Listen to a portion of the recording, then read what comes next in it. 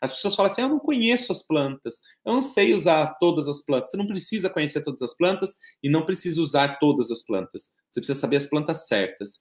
Pode ter certeza, picão preto é a planta certa para muitos problemas de saúde.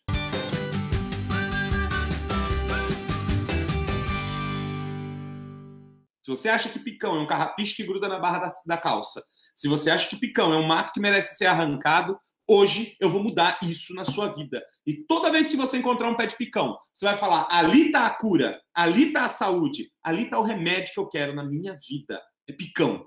Para começar, eu quero explicar as diferenças entre as duas espécies de picão preto que você pode encontrar perto de você. Picão. Por que se chama picão? Por causa disso aqui, ó. Vocês estão vendo essa estrutura aqui? São os carrapichos dele. Essa bolinha aqui, essa, essa peruca preta que se forma aqui, são os carrapichos que grudam na calça da gente. Essas pontinhas amarelas aqui, elas são todas cheias de ganchos que grudam. E essa parte preta aqui é o fruto do picão preto e a semente está aqui dentro. É um fruto seco que essa planta tem. A flor do picão ela se apresenta de duas maneiras diferentes. E aí é que as pessoas ficam me perguntando um milhão de vezes: é picão ou não é picão? Duas variedades. A primeira delas se chama Bidens alba. O nome Bidens alba faz juízo, às pétalas dela, que são brancas. Então, estão vendo aqui que tem uma pétala branca? Essa pétala branca é da espécie Bidens alba. Ela pode ser maiorzinha, assim, ó. Essa aqui também é. Ela pode se apresentar desta maneira aqui. O miolinho amarelo e não tem pétalas. Vocês estão vendo que não tem pétalas brancas aqui em volta? Se não tem pétalas brancas, o nome dela é Bidens pilosa, porque ela tem esses pelinhos, mas não tem as pétalas brancas.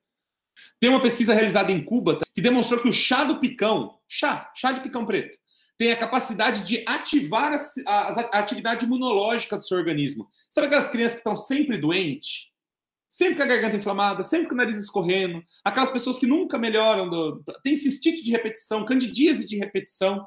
Essas pessoas normalmente têm esses problemas porque o sistema imunológico não funciona. Você pega seu filho e você dá picão para ele na alimentação, no suco, na forma de chá. Você está tá elevando a atividade do sistema imunológico dele está melhorando a atividade imunológica dele. Olha que coisa excepcional, que coisa fantástica. Com uma planta que é mato. Você pode pegar esses carrapichinhos, você achou num, num terreno baldio, achou um monte de picão, deixa nascer na sua casa, planta na sombra para ele ficar bem verdão, repolhudo. Cara, você tem uma verdura incrível para consumir na sua alimentação. Para com isso. É excepcional. Tem um outro, um outro estudo é, que foi realizado entre uma, uma universidade de Cuba e uma universidade da Espanha. As duas universidades juntas fizeram uma pesquisa com o picão e mostrou que ele melhorou significativamente a resposta imunológica do organismo também. Então, há mais uma pesquisa mostrando essa, essa melhora significativa da, da, da ação imunológica do organismo a partir do uso do picão. No caso, a gente está falando de sistema imunológico, e aí vem as alergias. O que, que acontece com as alergias? Alergia é um processo em que tem alguma coisa que entra no meu organismo que é interpretado como um problema, como um invasor ou como alguma coisa que pode me prejudicar, e o meu sistema imunológico vai até lá e combate aquilo. Só que esse combate é tão exagerado que eu tenho um processo chamado de processo alérgico. É, é essa resposta do sistema imunológico ao meu a, a esse invasor, como é muito exagerada, acaba causando um processo de alergia. Tá? Tem gente que é alérgico a pelo de cachorro, tem gente que é alérgico a perfume, tem gente que é alérgico a leite, tem gente que é alérgico a várias coisas. Tá? Então, muito bem.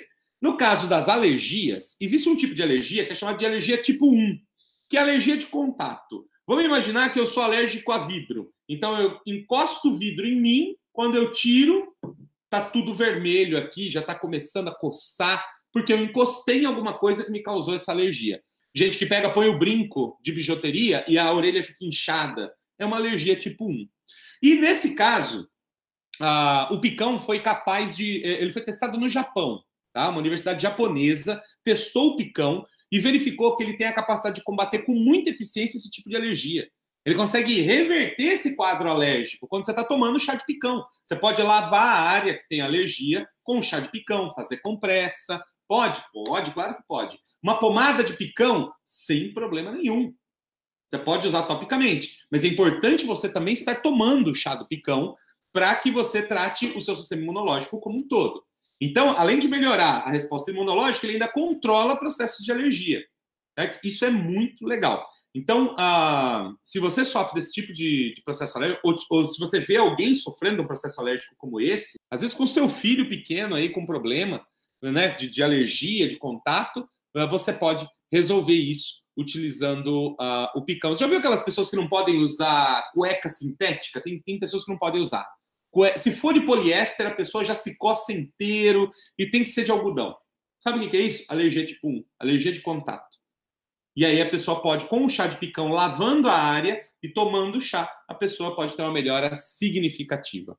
As pessoas falam assim: eu não conheço as plantas, eu não sei usar todas as plantas. Você não precisa conhecer todas as plantas e não precisa usar todas as plantas. Você precisa saber as plantas certas.